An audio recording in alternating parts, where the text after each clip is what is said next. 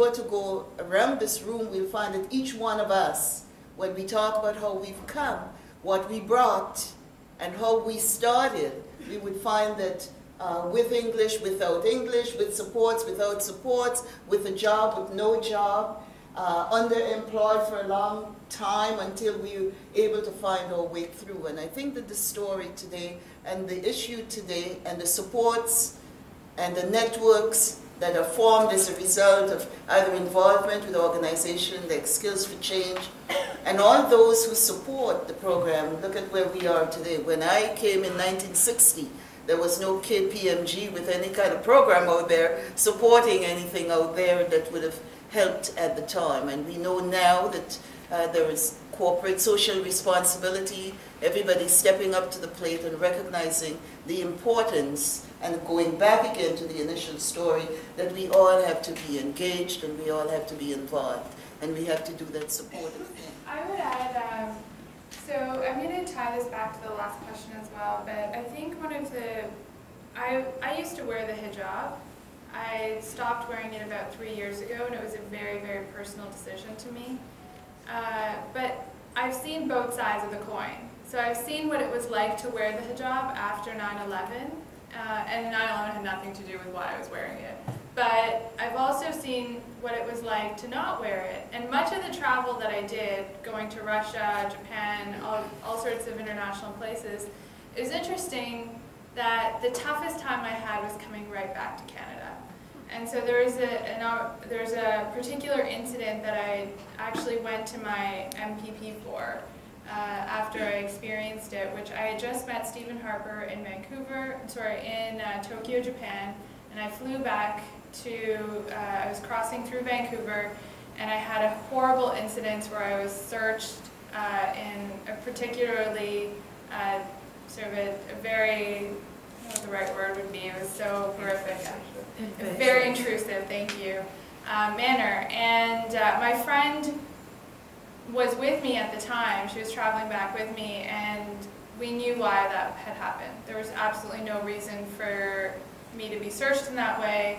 And I went to my MPP and I spoke to him about it, and uh, and it was something that actually woke me up to the realities of a post 9/11 world because I think I I was very optimistic. I thought, well, you know, I I mean that why would that happen in Canada? And I haven't experienced something like that in Toronto, uh, even in that post 9-11 period. So I thought, well, you know, it really isn't that bad here. But I think that incident actually really opened my eyes to that, the, that it is bad. Uh, that we have given ourselves permission to treat other people badly because of who they are, where they come from, or what they wear, or what religion they practice, uh, or what outside element might reveal what religion uh, In general, it's good to be uh, secure, right, to follow the rules, but I'm afraid that sometimes our society goes to the paranoia stage, which I recently experienced and lost big international conference where I was invited to give a talk, and a short story which made me think, where are we going with this? I supposed to go to France, and uh, in a system, electronic system, my ticket, uh, electronic ticket was that my first name was switched with last name. So instead of Ekaterina Rogaeva, I was Rogaeva Ekaterina, big deal, right? So I was denied boarding, uh, desperately trying to make it, uh, lost the entire conference and many, like it's international embarrassment, right? It's supposed to present. So what happened in the process when I was trying to say, well, it's electronic thing, this is my passport, this is my ID, let's switch it. What is the problem? And isn't it obvious that my first name is Katerina? It's kind of very common name even in, uh, in, in Canada and in Europe. What's your problem? They said, well, after September 11, we have to be careful with Canada, international flights, all of this. And it was not reasonable. But what is also was told me during this time is that it's interesting that it's happened to you uh, when I started to give a calls. Usually it's, it's, it's uh, with Arabic names, which I thought, wow, I am, uh, you know, probably a very rare case in these situations. There are people who just by the way they look, the way they talk, uh, in a much more target list. So that's what I was, um, I think that it's opportunity uh, to, to think about this. Do we need this uh, unreasonable steps? And maybe we need to make uh, just a friendly society, therefore people work for Canada. Look, I was treated very nice in Canada, and with my heart, I will be working for Canada for the entire my life. And I think uh, having entrepreneurial centers is is also really good. Um, The extent to which women are responsible for their families means that they are responsible for health, they're responsible for caretaking, they're responsible, I mean, they have two and three jobs. And I think that, um, you know, the, the health issue and aging issues are two big issues that we have not yet turned our mind to with respect to immigrant families. I know of, you know, one, you know, there are a few agencies, for example, that have tried to deal with this. For example, the Immigrant Women's Health Center has a bus, so they go around to various workplaces because those women don't have time to go to doctors. Or their work hours are such that they're unable to um, really take time off work. So issues around family-friendly policies, time off, dealing with sick kids are really, really, really critical.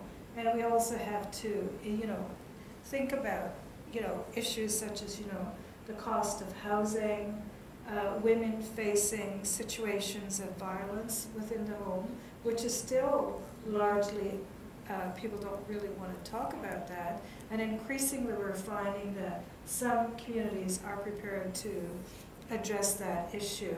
So it will take a whole panoply of solutions to, uh, and you know, many of the barriers that, that immigrant women face are also faced by women who are not immigrants, women who have been born here.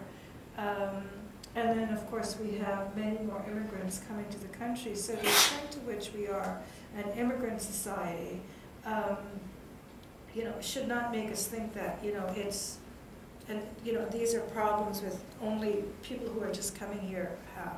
They are fundamentally, uh, there are fundamental uh, changes that are required to policies and i.e. legislation and deal with. And uh, again, there is always a solution, but it's uh, somebody mentioned just by accident saying, well, Katerina, how about you take English as second language? But I didn't have time. I was mom of two, and uh, I was working like beyond of my ability, like already stretched my hours. And then what happened, it was somebody suggested, how about Toastmaster Club? And I don't know, this type of information, again, I, I'm not sure if it's even supported by government, but that saved my life. And uh, I started to go to maybe not very appropriate avenue, but I took it because it was like just one hour a week and people clap whatever I said. and then I felt, wow, I'm accepted. And it was like blah, blah, blah, blah. I was happy. and then what it is, it's a survival again mechanism. Then you have to do, you know what, you have to do something. But it's also feedback from people. At that time I was working with technician very uh, Canadian, uh, nice man, and I know that many people shy to correct because they think, oh, maybe you will be offended. I never was offended, I need it.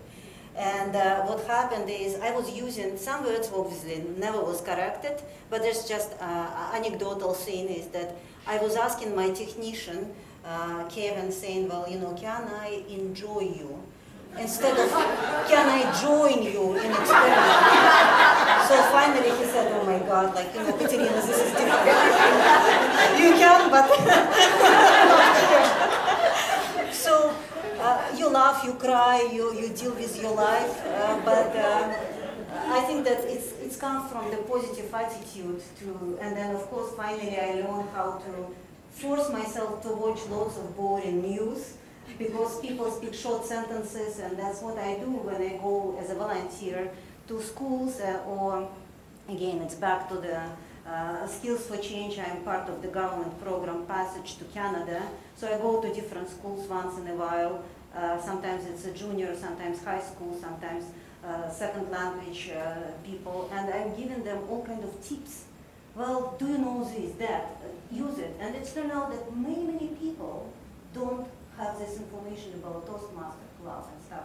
So that's what I encourage and back to the and mental health, uh, that uh, as a result of stress, post-traumatic um, instances, all of those uh, that could be and should be discussed under what we call family-friendly policies. And uh, we need to push for more of those in our workplaces and also policies that would um, complement uh, what organizations are doing.